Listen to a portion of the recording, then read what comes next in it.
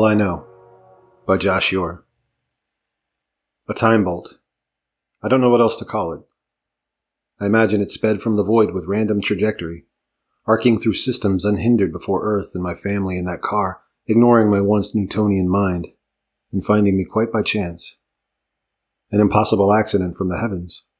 And yet, maybe this has happened before. Just one more phenomenon in a boundless vacuum filled with inflation and gravity waves, black and white holes. My body was inexplicably left behind, and I became a time traveler. I've always wanted to be a father. A good one. The kind who grills and cuts grass and throws balls, rolls in the dirt, removes splinters and threatens bullies, reads bedtime stories in the glow of a nightlight. The kind who was there, I was taken from my own father not long after my first birthday, and I didn't see him again until I was 13. His name was Jimmy, and he was thin and bearded with chambered, downturned eyes just like my own. It was warm on the day that I met him, I remember, but he shivered with alcoholism. He was nice enough and talked about Jesus and Waylon Jennings like they were similar people, but when I began to throw rocks at his cat in the front yard, Jimmy yelled, Cut it out, boy! And I decided without words that I would never see him again. And I didn't. Jimmy hung himself 12 years later with an electrical cord, his breakfast still cooking on the stove. I didn't feel guilty, but I felt something. I am at the beginning and the end of this at once, and I can't get a handle on it. I feel outside of things. There was a collision, I know. There was the caustic agony of impact as my corner of the vehicle surged in on me, but I felt nothing soon enough. Now I am here.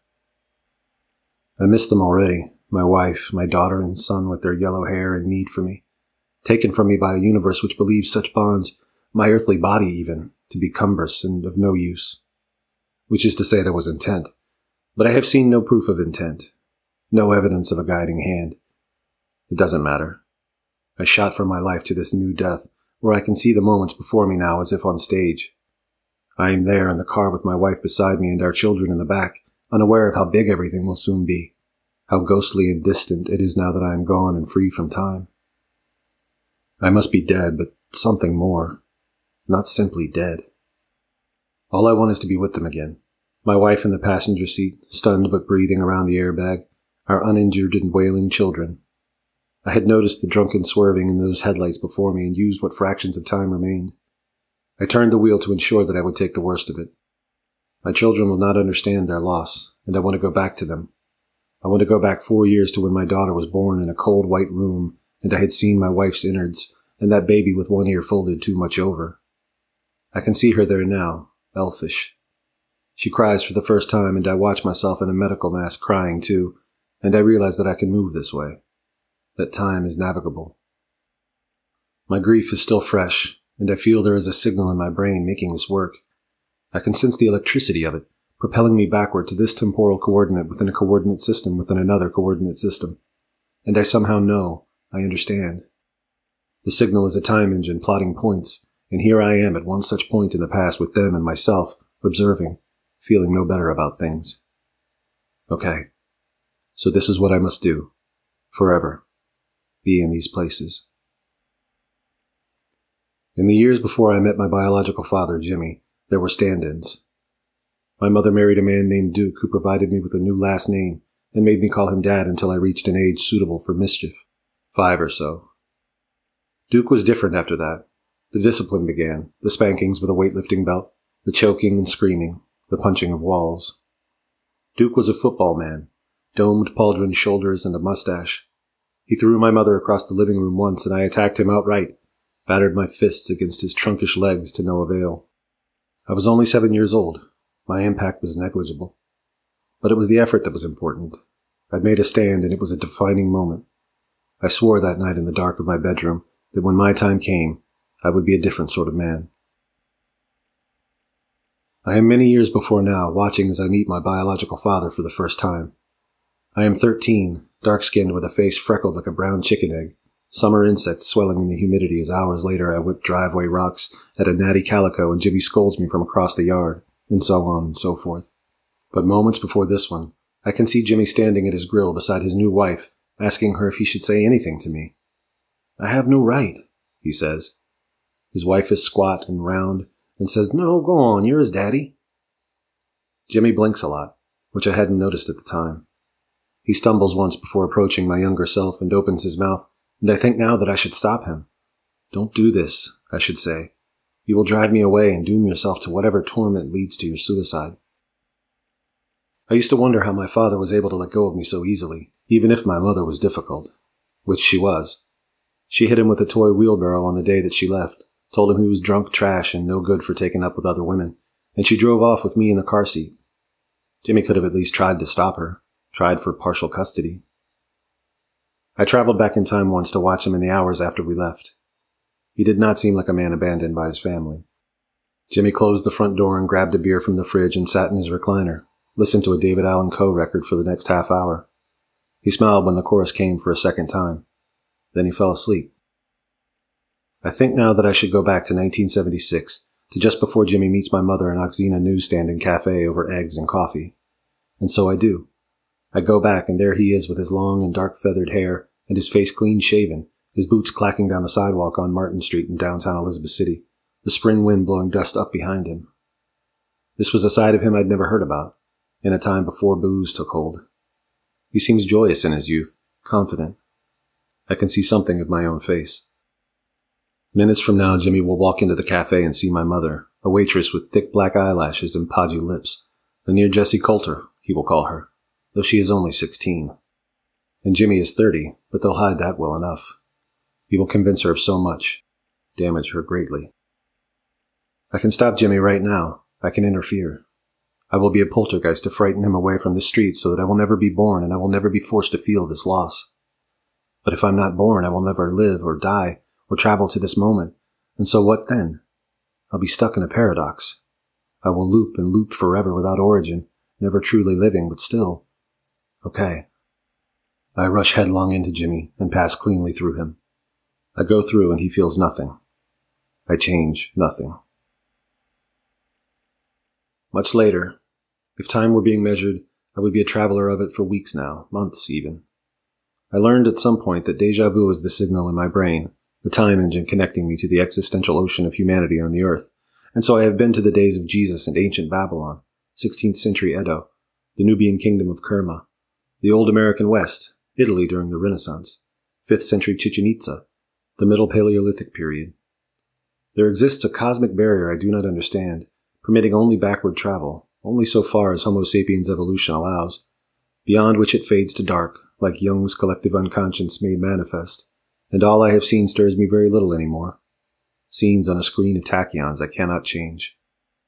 I am most always with myself and my wife and daughter and son at an outdoor museum exhibit where massive dinosaur statues have been placed along a forest path, and my son is shouting, Dinosaur, Dinosaur, running ahead of us with his sister pointing out which dinosaur is what, Ankylosaur, Parasaurolophus, Apatosaurus, and so on. My daughter is four here, my son only two. And when I look at my wife, I can see her looking at me and myself not looking back, because on this day I was already old in love, bored of it. But I can see now that she was not, and how foolish I'd been.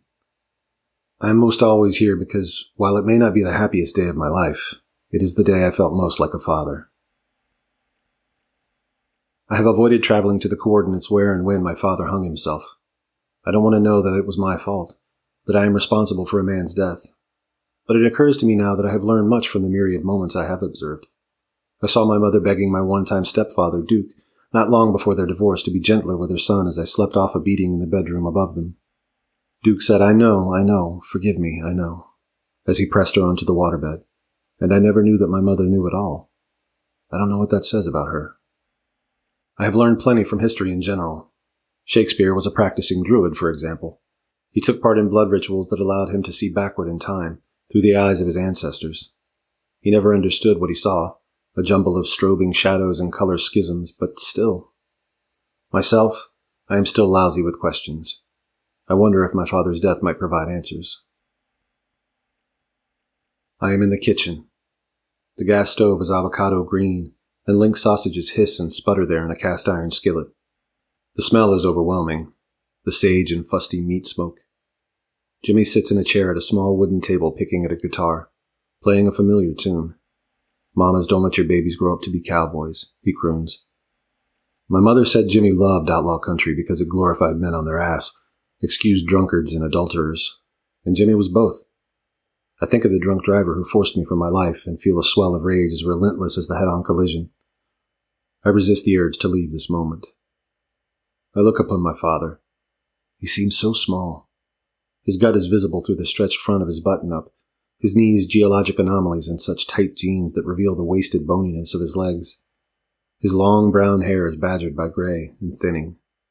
A mug of coffee steams before him, and I imagine he must be thinking of me now, his lost son, because he blinks and a tear runs a line down his cheek. He exhales.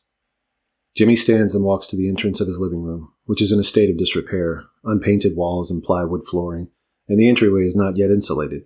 No sheetrock there, only the framing and header box where Jimmy tosses up the end of an orange extension cord. He ties it off. He brings his chair over and stands on it, ties the other end of the cord around his neck. He sniffles once and kicks the chair over. And in this moment I am full of remorse for avoiding him for so long, letting him do this to himself. And as he swings from side to side, choking, saliva bubbling on his lips, he looks right at me. Because we are of the same blood, and there is power in blood, and he is dying, maybe, I don't know, but he recognizes me, and I scream, No! And he gapes at me, sees me. He does. I swear he does. Jimmy reaches up to his neck, fidgeting with the simple knot in the cord digging into his jugular, and I am sure he will not succeed, that Jimmy will die this confused and hopeful, that he will die as he always has, because time is fixed and immutable. But Jimmy doesn't die. He crashes to the floor, spitting and hacking, gulping deep breaths of air. He says, I can't, to himself. No, no, he goes. And though he doesn't say it or look at me again, I am sure that he saw me. Everything will be different now. I travel forward to a temporal coordinate within the same coordinate system newly spawned by Jimmy's survival to a summer day in my backyard almost one year later. Jimmy had taken my spectral appearance as a sign from God to reconnect, and I apparently obliged him. Jimmy and my wife sit beside me on our screen porch drinking Michelobs and talking about music in the 1970s in loving and disingenuous ways. The sounds, the wide spaces and roadways, the counterculture. It was all the best in those days, Jimmy explains. My wife and I nod in agreement, certain it was not. I watch as our children play in the yard. Jimmy laughs as my son stumbles face first into the grass, his hair flaring white in the sunshine. Jimmy hollers, Get up, boy, you're okay and I smile because everything is okay. But in my mind, I notice a newer waypoint. I travel forward another year, two months, 14 days, 11 hours, 22 minutes, and 8 seconds to the same kitchen, and Jimmy playing the same guitar, singing Mamas Don't Let Your Babies Grow Up to Be Cowboys. But the entryway where he'd tried to hang himself previously has been fixed, and the living room appears newly renovated. The carpeting is oatmeal colored, and the walls are painted blue and on the kitchen table before Jimmy this time is a wallet-sized photograph of a young boy, six or seven years old. The boy's eyes are as downturned as my own, and Jimmy's. And I see the 12 gauge in the corner, and I know what will happen here. I look at the photograph again and realize that I am not the only child Jimmy abandoned. I feel relieved and foolish. I am not his only sin. I travel backward from the temporal coordinate of Jimmy's initial suicide attempt. Nine years, three months, three weeks, seven days, one hour, 39 minutes, and 51 seconds before, to a waypoint now flaming from my realization that Jimmy is an old hand at desertion. That I am neither the first nor the last of his great regrets. I am now at a Georgia campground stippled by tents and picnic tables and pine trees allowing very little moonlight beneath the canopy. It is almost full dark. There is a red tent beside a green 77 Datsun pickup with the engine running and the windows down, music wafting from inside the cab. The song is Waylon Jennings' Mamas Don't Let Your Babies Grow Up to Be Cowboys. I move closer to the red tent, and from within I can hear a man's voice, Jimmy's voice in the dark, whispering, Lower, go lower. And then comes the small voice of a young boy laughing, saying, No, as if it were a joke. Then the hushed voice of the man says again, Lower. And I turn away. I flee from this moment with the speed of one unencumbered by space and time. I move forward to the last moment I'm able to witness, the minutes before the crash and my departure from the time stream. I am immobile in the driver's seat, oblivious. I remember in this moment how I wondered at a world before automobiles, the harsh days of horse travel. I see the wrinkles in my brow as I think of it. I wait for that celestial strike. I want to leave and go backward to that morning, in our bedroom again to see my wife in the bed uncovered, in her underwear, the shapes of her I love and miss, or upstairs to where my children sleep, but I don't. I have done so forever, and now I must focus. This time bolt is unaffected by the changes I have made, and I need to catch myself at the precise moment.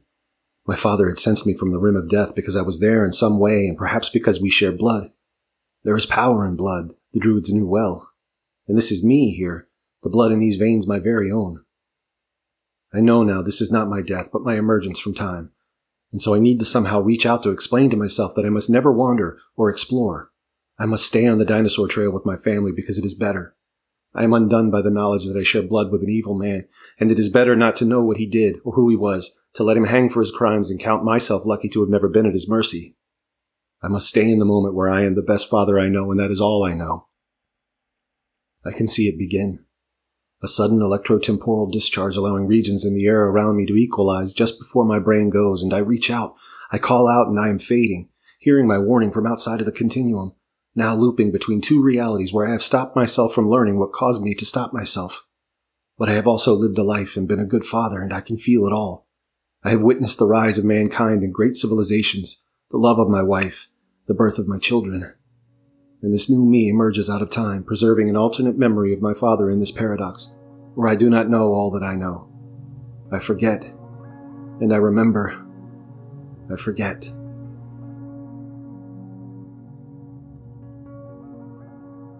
You've just listened to All I Know by Josh Eure.